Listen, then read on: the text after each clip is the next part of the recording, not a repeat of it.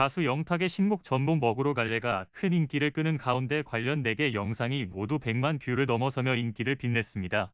지난 2월 14일 영탁 공식 유튜브 채널 영탁의 불쑥에 공개된 전복 먹으러 갈래 퍼포먼스 비디오는 3월 11일 조회수 100만 view를 넘어섰습니다. 영탁의 전복 먹으러 갈래는 앞서 원더케이 채널에 공개된 뮤직비디오가 2월 19일 100만 view를 넘은 데 이어 소속사 밀라그로 유튜브 채널에 공개된 뮤직비디오 역시 100만 view를 넘어섰습니다. 이에 더해 음원 영상까지 3월 6일 100만 view를 넘어서며 트리플 크라운을 달성한 바 있습니다.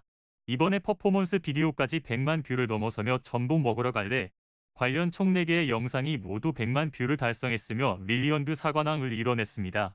영탁의 신곡 전복 먹으러 갈래는 전복 먹으러 갈래 너에게 좋은 것만 주고픈 마음 알까 안주가 끝내주잖아 등 직설적이고 유쾌한 가사를 통해 저돌적인 남자의 마음을 로맨틱하게 담아냈습니다. 전복 먹으러 갈래는 가온 차트 다운로드와 차트 2위에 오르며 이관왕을 차지하는 등 큰 인기를 끌고 있습니다. 영탁은 음원과 함께 공개된 뮤직비디오에도 직접 등장, 어깨가 들썩이는 형님 댄스 등 발랄한 매력으로 팬들을 사로잡았습니다. 뮤직비디오는 유튜브 인기 급상승 음악의 수일간 1위에 오르는 등 인기를 빛냈습니다.